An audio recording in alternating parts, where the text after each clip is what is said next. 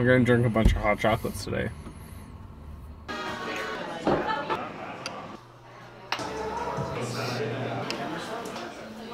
I suppose I shouldn't tell you that I'm allergic to chocolate.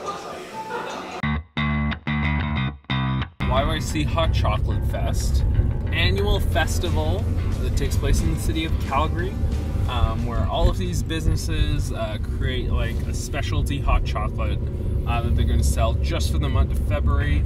It's super cool because it actually benefits charity, benefits Meals on Wheels. I really, really enjoy it. I try to get as many of them as possible. And I figured this year we might as well try and do as many as we possibly can All at once. in a day. Uh, And hopefully no one dies.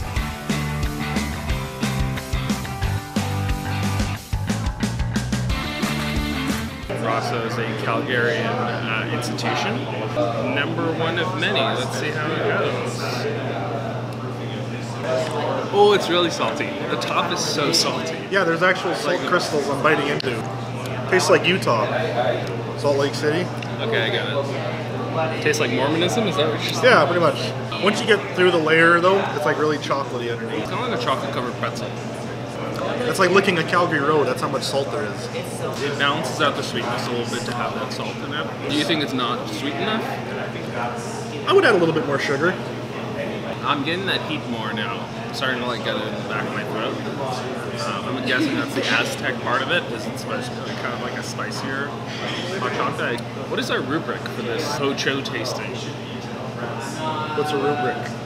I think presentation, obviously. It had like red pepper bits in there, which was really cool. I like how simple it kind of was, how chocolatey it is. It's pretty chocolatey. Yeah. Uh, without being overboard, I think this is a nice little balance. How does your soul feel after you after you drink it? Torn, content, at the same time. My soul feels pretty warm, so I guess that's pretty good. I would like to eat this in a solid form. I think that's just chocolate. Would go really good with like a block of cheddar or something like that. Sorry, what? Did you say you're eating your chocolate with cheddar? Haven't you ever had chocolate with cheese? So what you do is you go home like take a piece of Old Fort cheese, like a nice slice of cheddar, and you drizzle it with Nesquik, and you put it in the microwave, not enough to make it melt, but just enough to soften it, and you eat it with an olive. It's really good. Eat it with a what? An olive.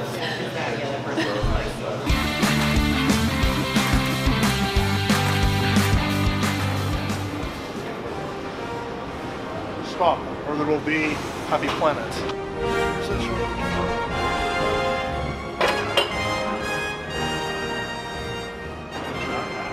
Take it easy. Have you ever had those um, those quality street chocolates? Yeah. That's exactly what it tastes like. Wow. It's super good. Apparently, it's all vegan. It was like the first thing I could taste when I sipped it was the coconut whipped cream. And then got a little bit of that raspberry and, the, and then the chocolate. That was actually like quenching. Like it quenched my thirst. I cannot believe you just finished that. What is wrong with like just? What am I supposed to even talk about now? Uh, what do you think of the presentation? I like it. It's like a nice. It's like a like a white and red rose. Yeah, saying I really like that little piece of chocolate. I guess that's vegan too. It was almost like a fudge. I'm a big fan of oat milk. One good thing about it is it actually wasn't overbearingly sweet, It's definitely way sweeter than the last one. but it's not like I'm drinking like a pop. The quality of chocolate is actually really good. And the more I drink it, I really appreciate that coconut whipped cream. I love the way that the chocolate balances with the coconut, that nice It tasted tart the sweetness of the raspberry. it tasted the way it smelled. Sometimes you can smell something. Oh, that you know smells really good. and You taste it. It's not bad. It just tastes completely different than what it smelled like. But this Have you is been like eating a lot of potpourri recently? How does your soul feel? like I'm laying on a cloud, sleepy, comfortable. I actually poked my lip with the sharp thing right now, so I think I'm bleeding. Uh, yeah, my soul feels pretty content.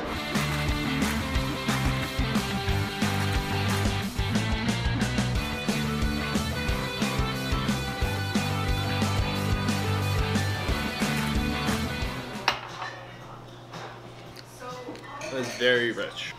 Unfortunately, since I'm vegetarian, I will not be consuming this marshmallow. Can I have it. Yeah, you can have it. What does it taste like, though? Is it a mushroom? It's a marshmallow. Oh, It's a sorrel marshmallow. So does it taste like herby? Yeah. The hot chocolate itself is fantastic. Yeah. Obviously, the presentation was amazing. You know, the Deane House is such a cool and fancy restaurant, so you know they were going to go above and beyond as far as the presentation goes. This is the most chocolate Yeah, Coca. that I've had so far. Like, it tastes like a straight up bar of chocolate. How does your soul feel? Content. My soul feels fancy. Um, I'm gonna really try to get more dairy alternatives the next place that we go to because I don't know if I can take this much dairy in a day. I don't think anyone should take this much dairy in a day. I feel like I've just come in off the ranch after hard day's work and had a six shooter on my hip.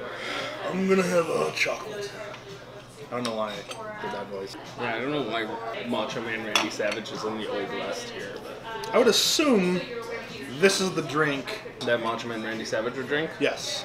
Yeah, this is definitely the Macho Man of hot chocolates. Oh yeah!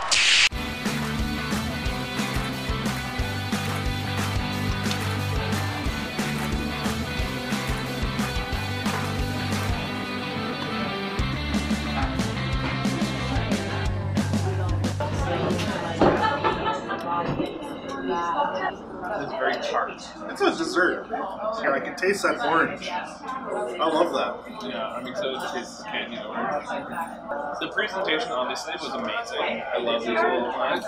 It is very much the flavor profile they were looking for. It tastes like a Terry's chocolate orange. Yeah. I think like the actual cocoa is a little bit overwhelmed by the rest of the flavors. It does feel like a darker chocolate. It feels like it's more bitter, which I feel they probably did deliberately to balance with like the sweetness of the candied oranges and stuff like that. I just wish I could like get more of that bitter cocoa coming through. How does your soul feel? Hopeful. But you think we might be able to fix climate change? Oh, I hope so.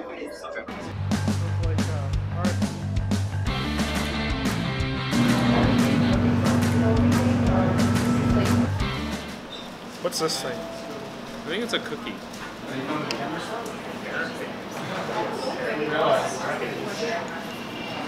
Oh wow. It's a biscuit. Where'd the biscuit go? I ate it. I literally blinked.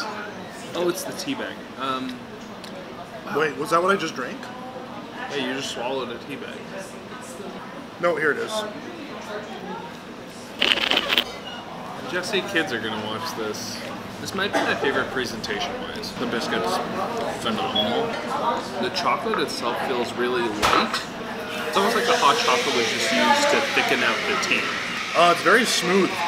It's not as thick and heavy as some of the others were. I love the Earl Grey flavor. It's just like rich and florally. The actual drink itself is so light and easygoing. Uh, my soul feels rejuvenated. Lemon poppy seed, like. Your soul feels like a lemon poppy seed. Yeah. Pretty good. Very good. Very good. Very good. Very good.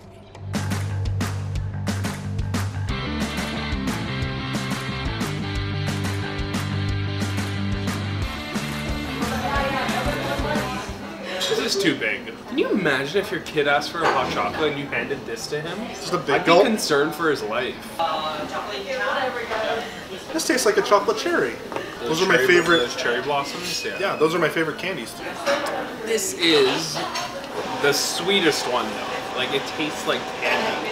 I do like the presentation. I like the like little bit of peppers that they put on there. It makes it slightly more complex. It's way more richer than the last ones we've had. You can It's a bit it. too sweet. I can take. I can feel it on my teeth. yeah, you can feel it on your teeth. That's Like- what I was about to say. The actual chocolate flavor is lost. I taste a lot more cherry than I do anything else. My soul's a little tired at this point. I mean, this is number six. Also, my soul's hungry. We ordered food because, like, obviously I had to eat something. Oh well, bottoms up. Please don't finish it. Anyways, so that's my I'm take on it. gonna- It's uh, frighteningly sweet. Unless you have the metabolism of Dwayne Johnson, then maybe you could drink this.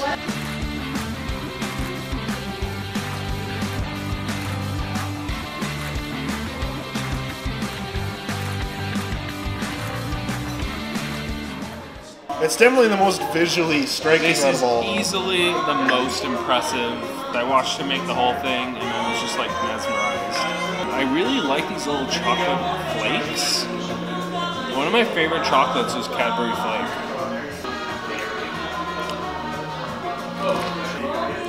I can immediately get that rose flavor. It's like super florally. I'm kind of mixed about rose flavors. Rosewater I feel is like a little overpowering. This kind of strikes a good balance with the chocolate.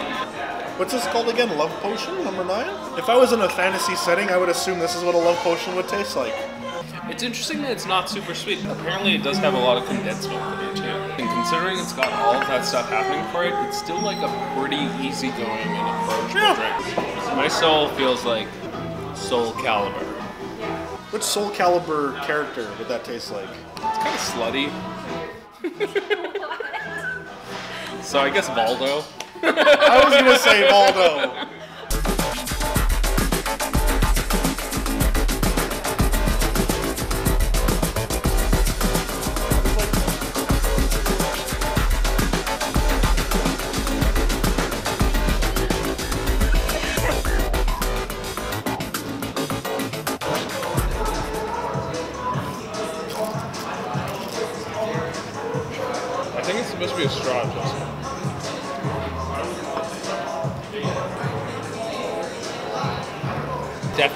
Alcoholic.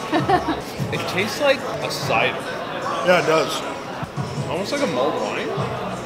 I'm getting a very like wood flavor from it. Oh, maybe it's like a smoky. It might be like the bourbon or the whiskey mm. or something that they use in it. It's very potent. Yeah, we definitely can't finish it because we do have to drive out of here. Presentation wise, it was amazing. I always like a little cookie to go with something. The chocolate, I can't taste it. Whatever the alcohol is, it's giving me like a slight bitter Yeah. tinge. Yeah, yeah. Made with a porter. Yeah, so that's probably that like bitter taste that I'm getting. Is that porter. Sweetness wise, I think it's like pretty well balanced. Yeah, it's like really it's not tolerable. super- I do like that little bit of bitterness, that like aftertaste, the beer. thing that comes through really well. Really well done. Uh, I like it. I'm actually a little bit upset I don't get to finish it all. This is probably the most soul warming one that we've Yeah. had actually. It feels like an ancient drink. Or like you had to kill him to get it. No, not that. Like something I would like drink in like a watchtower way back then. Like After guard. killing him. After killing a man, yes. This I don't know. feels like what Willem Dafoe and Robert Pattinson were drinking in the lighthouse. Yeah, you know what? I could see them drinking this right before they go crazy. This is the perfect drink to drink before you go crazy. Dance, Winslow! Dance! It's hardened my soul. That's what I think. Soul warming, soul hardening, So you got a nice soul boner. soul what? boner. Yeah, I got this. This hot chocolate gives your soul a boner. Okay, so uh, before we go any further, I gotta say um, that was really good. Um, I had a really long conversation with uh, Patty Berry, who's the assistant taproom manager at Inner City Brewing. He said that like this isn't even the the regular batch. Like this isn't as good as he would have it be. No, and I really appreciate the amount of time he put in to like sit down and like tell me what went into it and how he makes it. He actually even offered me to come back and make uh, two fresh ones tomorrow Okay. that are like free on the house, and I was like, man, Really? that's that's like super nice of him. Uh, just seems like a really cool guy.